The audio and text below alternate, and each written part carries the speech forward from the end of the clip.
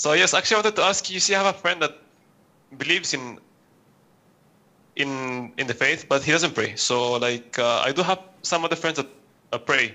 Would I be sinful if I start a business partnership with him, knowing that uh, I have to keep like some kind of like uh, regulations when dealing with him?